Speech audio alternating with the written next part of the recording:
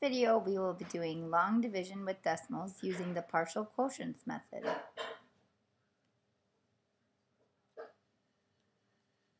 Like normal, we're going to set up our problem with the box longer on the right side.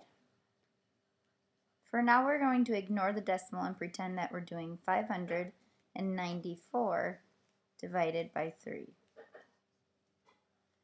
So let's take out 100 groups of 3. 100 times 3 is 300. Subtract.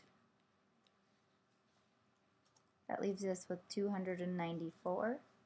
Let's take out 60 groups of 3. 60 times 3 is 180. Subtract.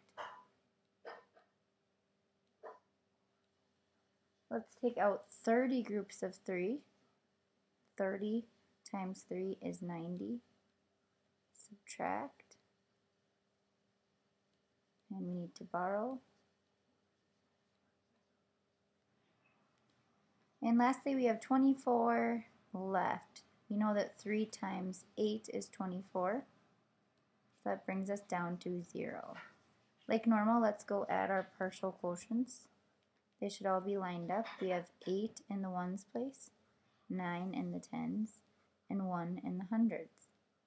Now we're going to go put our decimal back in. So we're going to look at our original number. Starting at the end of that number, how many times do we have to go to the left until we get to the decimal? One time. So in our answer, we're going to move over one time. And our final answer is 19 and 8 tenths. One more problem, let's set it up, 6.428 divided by 4.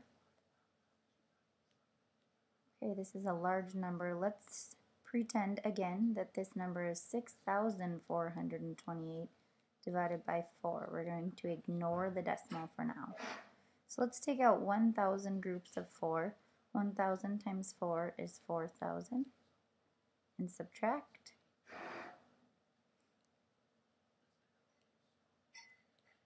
That leaves us with 2,428.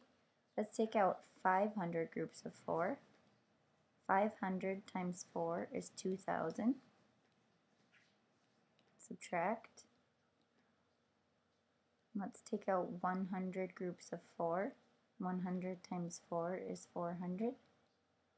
Subtract. That leaves us with 28. We know that 7 times 4 is 28 subtract, and we're left with 0.